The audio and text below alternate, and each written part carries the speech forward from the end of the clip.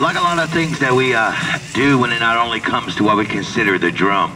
We consider the drum the heartbeat of all nations, for a drum does not know the denomination or creed or color in which not only individuals throughout the world that actually have their own drums, like the Irish, they have their kilts, as well as their Irish drums and the different people that carry a lot of drums throughout the world like a lot of different times, we believe that there's a lot of things that come into the heartbeat of what we consider all nations. So we hope that uh, you enjoy a lot of the songs as well as a lot of the dances. Our next category that we're going to call out is we're going to bring you a dance that comes from out of Oklahoma, and we're going to bring you the men straight dance. For the straight dances originated around the turn of the century when it came to not only our Indian people as well as the numerous of tribes that actually were involved in Oklahoma and what we consider the peace treaties that they had at one time. They not only recognized the numerous of these individuals that were fighting for this country, but the individuals that were considered other when it came to not only fighting at the same time as serving for our country.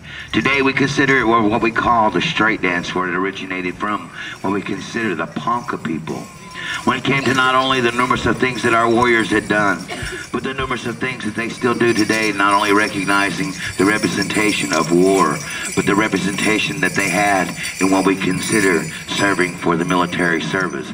As you look at these two young brothers across from each other, we got over here, we got uh, Jeff Delgadillo, along with his brother over here. What's his name? Joe Delgadillo. I mean, I had to sit here and remember these names because we uh, go to so many different places. As you see them not only looking on the ground, looking for the trail of their enemy, as you would look at the regalia that is worn. Directly on the side of them, they are wearing what we consider the tabs. For these tabs were used not only for engagements in war, but at the same time was able to tie themselves to their horses and leave their hands free for the engagement in war. Or if an individual was knocked off his horse or wounded, they actually could ride by and use these tabs to pick them up and take them to safety.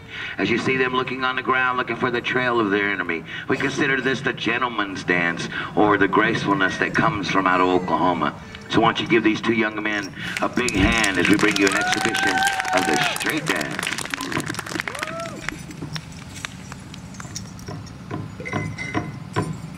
Hello,